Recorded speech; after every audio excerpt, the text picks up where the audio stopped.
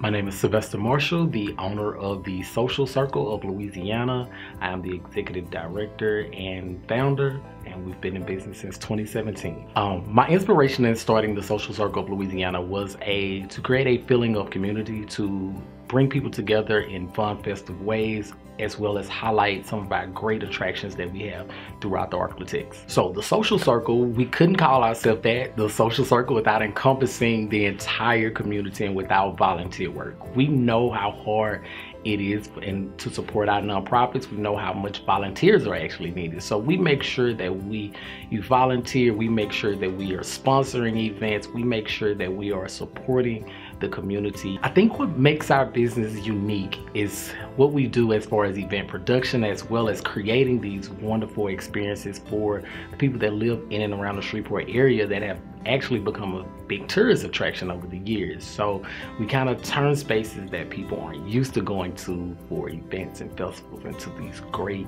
experiences for the community. I would say being a leader, being a business owner, one experience that I had to experience was like all business owners was the pandemic. We never saw it coming.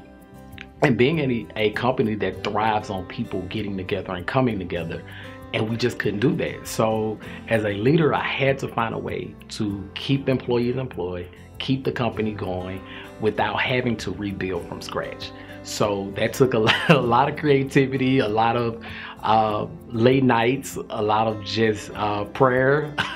um, but we worked through it like every other business and we stayed afloat um, we actually grew. So I am thankful for that. I would say the biggest challenge that I've had to overcome as a small business owner is to basically learn how to act and move out of not out of fear but you have to be you have to have a certain level of courage to own that business. You sometimes you don't have time to think you don't have time to re react. You have to always be thinking and planning ahead um, not only for yourself but for your employees and for your business in itself